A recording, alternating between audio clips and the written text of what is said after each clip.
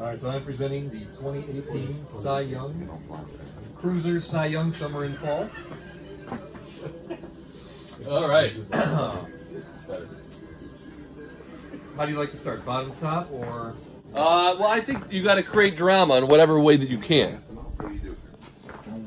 I thought we said bottom to top. Drama is drama is one of those things that you have to like.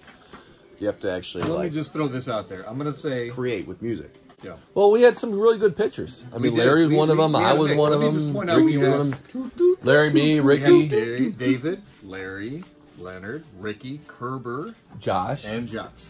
Let's not forget Josh. Oh yeah. So, coming in with exactly, hold on, 1.4% of the vote, Josh. Fourth place. Sixth place. Mm, gotta go Sixth. Sixth. I def the part of the reason the only reason why I put Josh and me on there was so I could beat Josh. Just see. So, Makes sense. David has beaten Josh with a 2.2%. Hell yes! Huge. Mm. Not quite double, but still big. Hey, your name's on the jersey. Next up on the list with a 3.6, Larry. Larry. That boy Larry, that would have gone up if we voted after tonight. Horse. Only 0.18 further up the list, 3.78 is Kerber. Only because he pitched more innings and because we like him better. It- There's nothing to do with pitching. And now, Wow. the Yeah, last that's two, rough, man. Well, he- 5.22 he's a nice guy. is the top score. 5.0 is the second place. Second place goes to Mr. Ricky. Mr. Leonard has won. He got another one. He hasn't had one in like three years. No? No, Well, we've had a lot of pictures.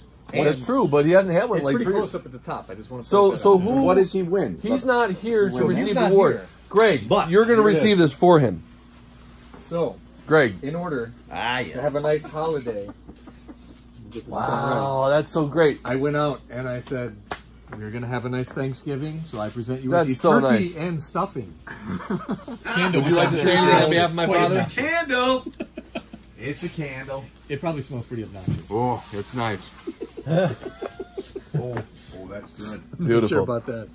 Uh, which one's coming up next? MIP. Congratulations, Dad. Leonard, you did it. Ageless Wonder, it's an honor to have you as a father and a softball player. All right. And all of the above.